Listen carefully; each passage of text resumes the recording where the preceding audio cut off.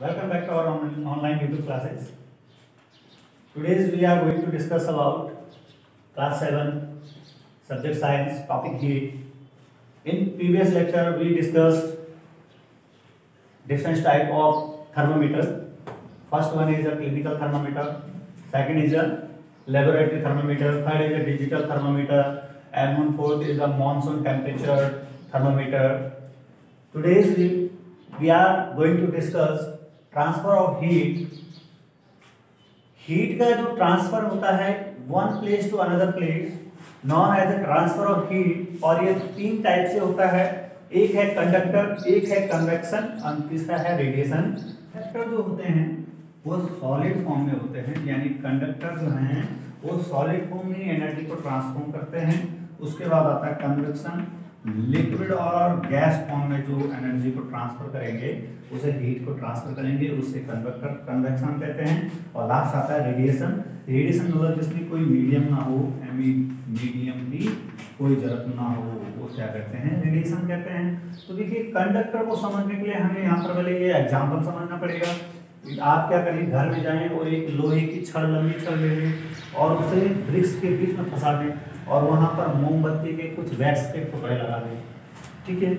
उसके बाद आप क्या करें, उसके नीचे एक सिरे पर, यहाँ पर इस सिरे पर हीट दें, गर्म करें उसे। तो आप क्या देखेंगे? आप देखेंगे कि सबसे पहले वाली वैक्स यहाँ वाली पिघल जाएगी, उसके बाद ये पिघलेगी, उसके बाद ये पिघलेगी, उसके बाद लास्ट में ये पिघलेगी और धीरे धीरे आप देखोगे यहाँ पर ये पोर्शन गर्म हो जाएगा।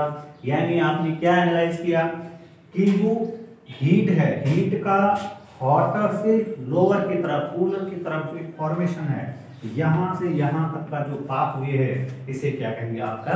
कंडक्शन कहेंगे। अब देखो, ये दो टाइप्स के होते हैं मेटल एक कंडक्शन होते हैं और एक होते हैं इंसुलेटर यानी जो इस हीट को अपने से ट्रांसफॉर्म होने देंगे हॉट से कूल कोल्ड की ओर ट्रांसफॉर्म करेंगे, उसे तो कहेंगे कंडक्शन और जो नहीं कर पाएगा, उसे क्या कहेंगे इंसुलेटर तो सिंपल से दो डेफिनेशन कि जो क्या करेगा ट्रांसफ़र ऑफ़ हीट में आप देखेंगे the process by which heat is transformed from hotter into colder, cooler in an object known as a conduction यानी हॉटर एंड से कूलर एंड की ओर जो इन जो हीट के पार्टिकल्स है, इनका जो ट्रांसफॉर्मेशन है, उसे कहते हैं कंडक्शन और जो इस कंडक्शन को, जो हीट इस हीट को ट्रांसफॉर्म नहीं कर पाएँगे, उसको कहेंगे आपका इंसुलेटर अब देखिए सेकंड जो आता है, दूसरा आता है, यहाँ पर कन्वेक्शन कि कन्वेक्शन क्या होता है? देखिए convection the transfer of heat in liquid and gases the molecule of the liquid and gases that are near the sources of the heat is called ठीक देखिए, मोमबत्ती आपको दिख रही है। अब मोमबत्ती को आप इधर से हाथ लगाना अपना। इधर रखना। तो आपको यहाँ ज़्यादा गर्म फील होगा। या फिर यहाँ? अगर इधर से लगाओगे यहाँ ज़्यादा फील गर्म होगा आपको या ऊपर? कहाँ होगा? ऊपर। तो देखिए, अब दूसरा एक बहुत ही सुटेबल एग्ज़ाम्पल आप घरों में पानी गर्म करते हो, ये पानी गर्म बाल्टी लगा दी, ठीक है, यहाँ पर रॉड रख दी, और देखना, शीत ठंड में आपको ज़्यादा दिखेगा। देखना, कुछ समय बाद आप इसको हटा देना, और यहाँ आप देखेंगे कि ऊपर का पानी तो गर्म रहता है, लेकिन नीचे का पानी क्या हो जाता है? ठंडा रहता है। तो होता क्या है कि हीट तो यहाँ से मिल रही है, और जैसे जैसे पानी गर्म होता है तो ये जो पानी जो गर्म हो जाता है वो तो ऊपर चला जाता है सरफेस में चला जाता है और सरफेस का जो पानी ठंडा रहता है वो नीचे पहुँच जाता है। तो इस पाथवे को, यानी हॉटर ऊपर उठ जाता है और कूलर जो है नीचे डाउनवर्ड में रह जाता है। इस पाथ को वे को ये कहते हैं कन्वेक्शन और कन्वेक्शन हमेशा दो चीज़ों में होता है।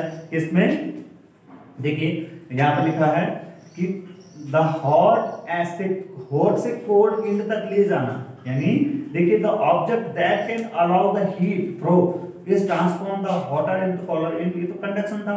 लेकिन हम बात कर रहे हैं कन्वेक्शन की। तो कन्वेक्शन क्या होगा कि हॉटर एयर जो है ऊपर उड़ जाएगी। यानी जिस पाथवे में आपका जो है जहाँ पर हीट मिल रही है, वही उसी सरफेस पर ही हीट महसूस होगी अदरवाइज़ नहीं। तो यहाँ पर आपको दिख रहा है कि इसमें जो ऊपर है, यहाँ पर ज़्यादा गर्मी महसूस होगी कंपेयर किसके? इसके साइड में। तो यही क्या है? कन्वेक्शन है। दूसरा एग्ज़ाम्पल मैंने आपको दिया कि घर में जो बाल्टी में पानी गर्म करने के लिए लगा दे तो आपको ऊपर का पानी गर्म दिखता है और नीचे ठंडा। यही कारण है कि जो हॉट एयर है वो ऊपर हो जाती है और कोल्ड एयर जो है नीचे रह जाती है। फाइनली आता है आपका रेडिएशन रेडिएशन किसे कहते हैं? देखो, आप सनलाइट है ना? ये सनलाइट है। इस सनलाइट का हम तक पहुँचना ये रेडिएशन है। यानी देखिए रेडिएशन का जो मतलब होगा इसमें किसी भी टाइप की the transfer of heat by radiation they do not require any medium कि हीट का जो ट्रांसफ़र हो और ऐसा ट्रांसफ़र हो जिसमें किसी भी मीडियम की ज़रूरत न हो। हीट की ट्रांसफ़र थ्रू वार ऑब्जेक्ट और हीट टू रेडिएशन यानी हीट का ऐसा ट्रांसफ़र कि जो किसी माध्यम से ना होकर सीधे हॉट हॉट से, यानी सन से सीधे अर्थ पर आई, ये रेडिएशन हुआ। इसके बाद हम आपको एक छोटा सा टॉपिक इसमें बच जाता है।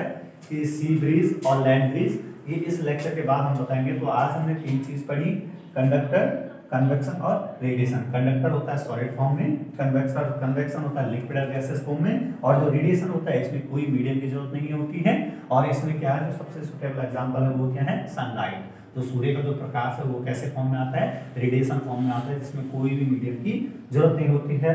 देन नेक्स्ट लेक्चर में हम डिस्कस करेंगे सी ब्रिज एंड लैंड